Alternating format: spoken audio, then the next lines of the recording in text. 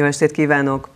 Ma van a Fehérbot napja. A nemzetközi nap célja, hogy felhívja a figyelmet a vakok és gyengénlátók nehézségeire.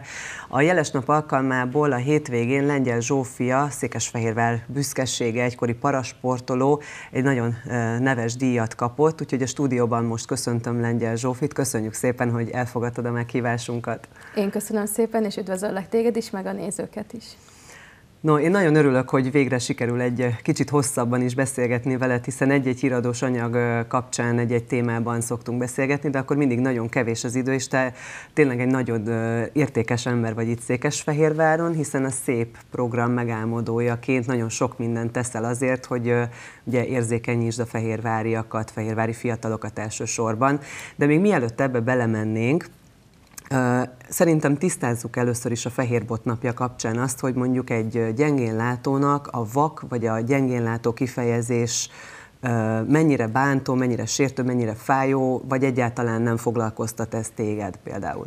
Engem személy szerint amúgy nem foglalkoztat, sőt én kuksinak beszézem magamat és a sorstársaimat, ez egy ilyen kis barátságos kis elnevezés, hogy kuksi vagyok, meg kuksik vagyunk, de amúgy a hivatalos elnevezés és az összefoglaló név az mindenképp az, hogy a látássérültek, tehát ezzel senkit nem tudunk megbántani, és igazából ezen belül rétegeződik az, hogy vannak a gyengélátó emberek, az aliglátó emberek és a vak emberek, és ez mind az összes megfogalmazás, amit eddig használtam, mindegyik hivatalos és bátran használható.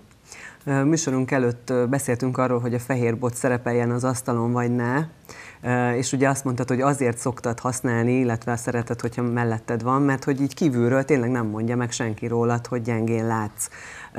Picit próbáljuk meg a nézőkkel éreztetni azt, hogy te hogyan éled a mindennapjaidat, a vakság, illetve a gyengénlátás mióta érint téged, hogyan tudsz így élni, és mi az, amit próbálj meg egy kicsit beavatni minket abba, hogy hogyan kell elképzelni a te látássérülésedet? A mindennapokban természetesen használom a fehérbotot, és ahogy mondtad, nem látszik rajtam. Ez egyrészt nagyon pozitív és szuper, hiszen pontosan emiatt tudok fogyatékossággal élő modellként is dolgozni. Másrészt pedig egy nagyon nehéz dolog, és nehézé teszi az életemet, hiszen nagyon sok atrocitás ért amiatt, hogy nem hitték el, hogy rosszul látok. Úgyhogy én szeretem mindig, hogyha nálam van, és ezzel is tudom jelezni, hogy én látássérült vagyok. Így születtem. Amúgy a szembetegségem neve retinitis pigmentosa, ilyen nagyon kis aranyos latin elnevezése van, ez farkas vakságot és csőlátást jelent összetetten, emellé kialakult még egy szemtekerezgés, ez azt jelenti, hogy mozog sajnos a szemem, és ezáltal a világ is az én látásommal, illetve most még ajándékként egy kis szürke hályog is bejelentkezett így felnőtt korom elején, úgyhogy ezekkel együtt élve csinálom a mindennapokat, különböző segédeszközöket használok, beszélő telefon, beszélő számítógép, beszélő lázmérő, különböző Bocsáss meg, hogy közbeszólok, ne is menjünk ennyire előre, mert ezeket mind szeretném egy picit részletesebben átlátni, hogy, hogy mégis hogy éled a mindennapokat, de hogy így mondtad, azért, hogy megakadt a fülem azon a mondaton, hogy atrocitások értek, azért, mert esetleg nem hitték el rólad, hogy ilyen problémával küzdesz.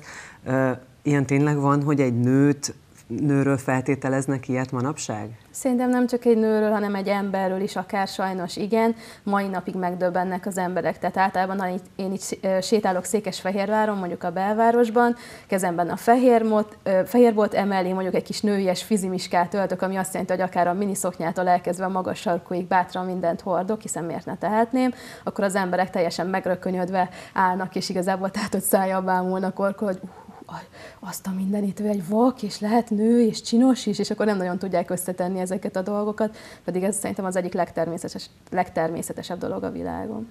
Jó, ezekre mind ki fogunk még térni, de ö, arra még egy nagyon picit térjünk vissza, hogy ö, igazából hogy kell elképzelni, mennyit látsz te a világból? Tehát, hogy most itt ülök mellett, előtted, azt tudom, hogy például a piros színű pulóverem az nagyon tetszik neked, mert ezt már több fórumon megbeszéltük, hogy hasonló ízlésünk van, és a pirosat valahogyan tudod érzékelni például.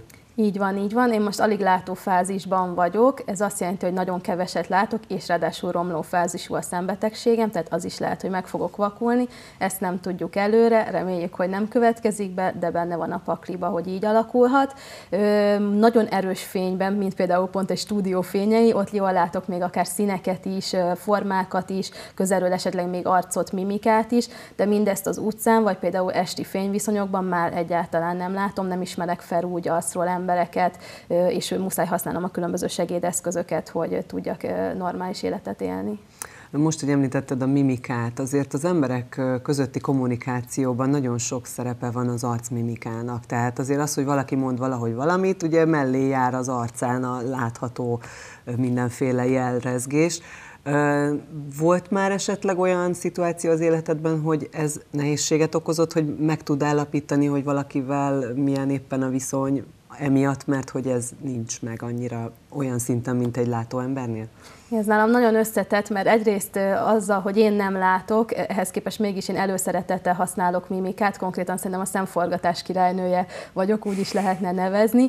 A ciki a dologban az az, hogy néha elfelejtem, hogy oké, hogy én nem látom, de ezt más látja, és ez igen kellemetlen tud lenni. A viccet félretéve nehéz amúgy, és én ezért tartom magamat egy őszinte embernek, hiszen hogyha mondjuk kommunikálunk egy közönséggel műsorvezetőként, vagy egy adott személlyel, akkor az ő visszajelzéseiből leveszünk egy csomó mindent, és lehet, hogy átalakítjuk kicsit a beszédünket, máshogy fogalmazzuk meg, és ezeket én mind-mind nem tudom csinálni, mert igazából én mondom bele a vakvilágba a mondani valómat, aztán lesz, ami lesz belőle. No, hát már szerintem nézőink is láthatják pár perc elteltével, hogy te nagyon pozitívan állsz hozzá ehhez a dologhoz.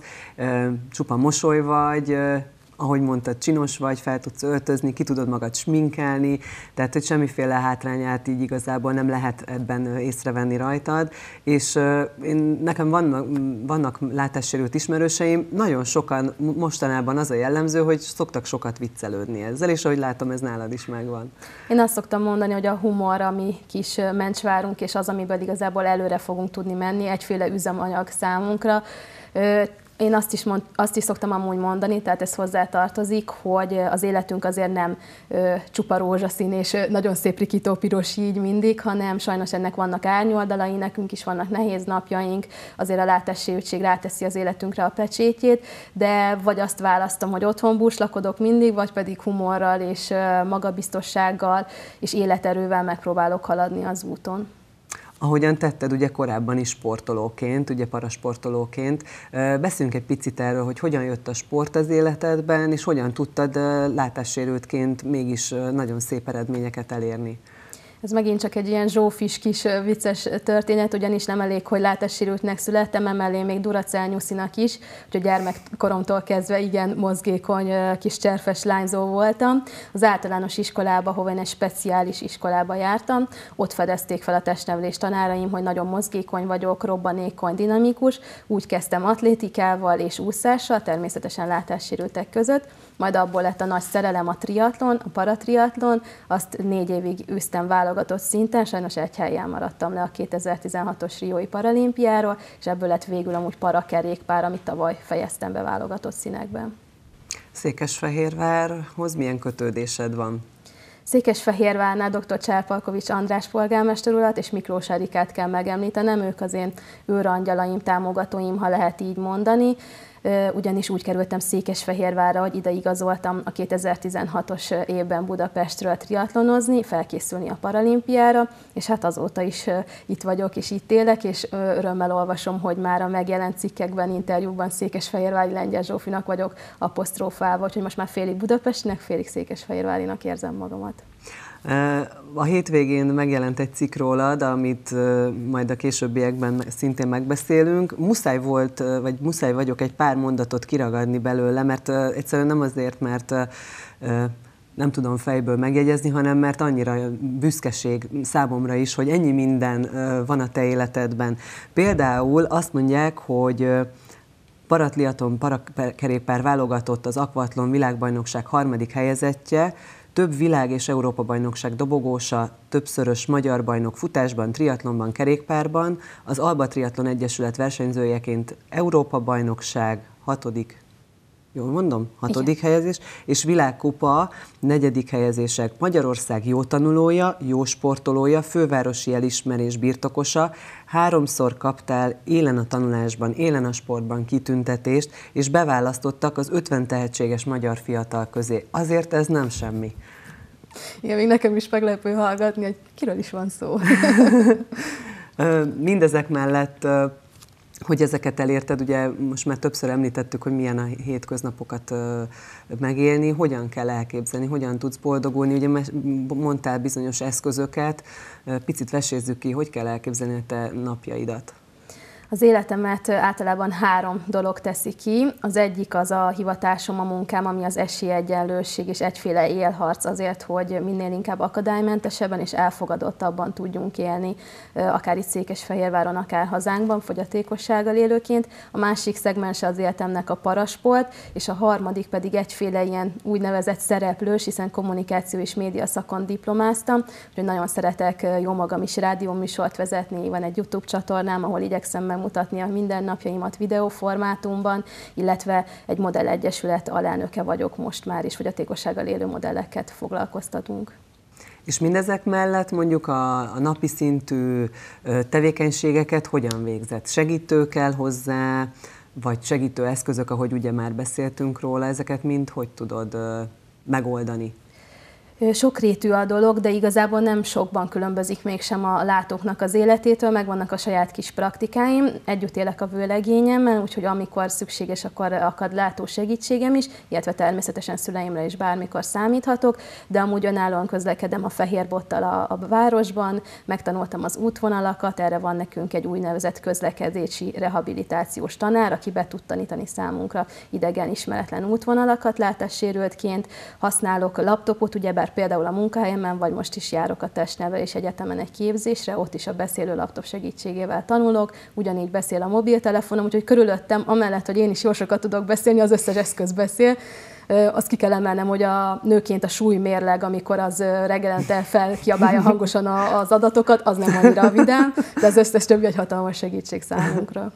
Most, hogy azt említetted, hogy nőként, és akkor beszéltünk már erről többször is, uh, ugye, hogy sminkeled magad, szépen felöltözöl, uh, ezeket mind, uh, és nyilván fontosnak is tartod, hogy, hogy mindemellett csinos legyél, hogyan sikerül mondjuk egy tükörbe belenézve saját magadat sminkelni, ahogy jöttél ide is mesélted, hogy te sminkelted magad. Igen, én már tükröt nem használok, ez vagy pozitív, vagy negatív, arra már egyáltalán nincs szükségem. Megtanultam a kis praktikákat, hogy hogyan tudok felrakni, de csak egy minimál kis sminket, alapozó, kis pirosító, esetleg rúzs, szájfény, egy szempillaspirál, és nagyjából sajnos itt kifúj a tudományom, hiszen a többihez már tényleg vizualitás kell, de hát így is alakulnak azért bakik, de mindig vannak kedves emberek, akik segítenek. Ez nekem egy nagyon természetes dolog, hogy amit említettél az adás elején, hogy szépen öltözködjek, odafigyeljek, ki tudjam fejezni magamat nőként, ez nekem annyira természetes, mint a lélegzetvétel. És nyilván azért is fontos, mert nagyon sokszor kiállsz nagyon sok ember elé. Ugye említettük itt a Székesfehérvári érzékenyítő programot, aminek ugye egyik élharcosa vagy, te képviseled ezt a programot, és ugye járjátok a város iskoláit annak érdekében, hogy az érzékenyítést kicsit jobban elmélyítsétek a gyermekekben. Hogyan, hol tart most ez a program, hogy értékeled az elő, a mögöttetek álló időszakot? Az önkormányzatnak már mellettem kialakult egy kis fix csapata. Nagyon fontos elmondani, hogy a városunk összes civil szervezete, akik ugye érintettek fogyatékossággal élőként közreműködtek a szép program megalakításában, de most már egy konkrét csapat dolgozik együtt, én, mint látássérült, egy mozgássérült, hallássérült és értelmi sérült kollega, és egy ilyen kis szép színes csapatként járjuk az általános iskolákat. A gyerekek hatalmas örömmel és nagyon-nagyon nagy kíváncsisággal fogadnak bennünket mindig, hogy azt tudom mondani, mondani, hogy ez egy tényleg szuper és szép kezdeményezés, és azért csináljuk, hogy tényleg elfogadottabbak legyünk itt a városban is.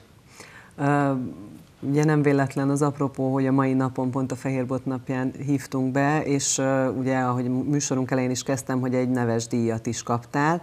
Az Aranybot díjat ezen a hétvégén bezsebelted Budapesten, amit meg is tudunk mutatni itt a kameránkkal, egy kutyus itt az asztalon, és egy botot fog a szájában. Uh, Hát egy újabb elismerés a munkádnak és a személyednek. Én nagyon zavarba vagyok az ilyen elismerésektől, pontosan ugye az évelején a hétköznapi hősök díjnál is elmondtam, hogy nagyon meglepő, és ezek mind olyan történések, hogy nem én neveztetem magam, illetve nem én jelentkezek ezekre a díjakra. Most is egy zsűri, egy négyfős zsűri döntötte el, hogy én kapjam meg magánszemélyként ezt a díjat. Hatalmas büszkeség számomra természetesen, és egy visszajelzés, hogy tényleg jó az, amit csinálok, és hogy haladnom kell el, előre ezen az úton tovább, illetve amúgy egy plusz energiaforrás, mert ahogy mondtam, néha én is elfáradok, és nekem is lehetnek, meg vannak is nehezebb napjaim, de az ilyen plusz visszajelzések mindig segítenek, hogy tovább és előrébb tudjak haladni. És korábban is volt egyébként egy elismerés, a hétköznapi hősök díjat is magadénak mondhatod, ez, ha jól emlékszem, 2017 környékén volt idén volt a hétköznapi díj év elején. Ezt most, ez már idén Igen, volt. igen, igen. Csak annyi díj van, hogy bele lehet keveredni, de igen, idén, ez idén év elején volt, és ez is egy nagyon-nagyon váratlan díj volt számomra. Hát én nagyon szépen köszönöm, hogy eljöttél hozzánk, és meséltél erről, még órákig tudnék róla és veled beszélgetni, de majd erre egy másik műsor keretében remélem, hogy sor tudunk keríteni. Én azt kívánom, hogy maradj mindig ilyen pozitív, és, és ilyen kis tényleg csinos, sugárzó személyiség, és sokszor gyere még hozzánk beszélgetni, és nyilván a híradós anyagokban pedig a szép programokban még találkozni fogunk. Nagyon remélem, köszönöm. Köszönjük szépen. Önöknek pedig köszönjük szépen a figyelmet, legközelebb is tartsanak velünk. Viszontlátásra!